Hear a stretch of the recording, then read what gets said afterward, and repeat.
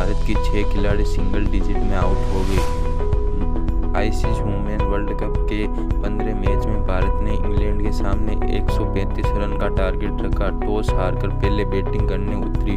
Team India 135 run ही बना सकी और 36 पॉइंट दो ओवर में ऑल आउट हो गई। Smriti Mandhana 35 run top score रही, जबकि ऋषा घोष ने 33 रन बनाए। इंग्लैंड की ओर से डीन डीन सबसे ज़्यादा चार विकेट चटकाए